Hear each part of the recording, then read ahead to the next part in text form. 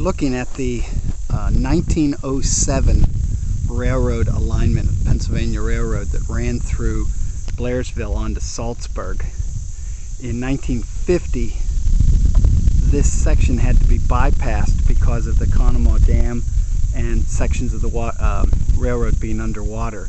They built a new alignment down the river a little bit, which you can see over here.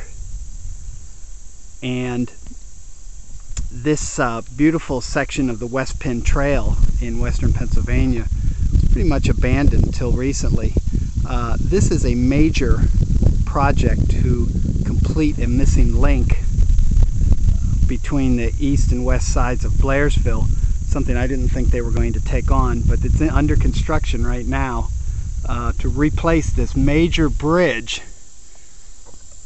and connect the beautiful stone columns that were part of it to uh, the remaining part of the trail that will run through Saltsburg and on to um, actually to Trafford, Westmoreland County. Uh, it's got a long way to go, but um, this uh, bridge is a huge project, probably costs a lot of money to complete. An exciting thing is this will now connect to the Ghost Town Trail going east toward uh, uh, Dilltown, Ebensburg, Nanty Glo, places like that.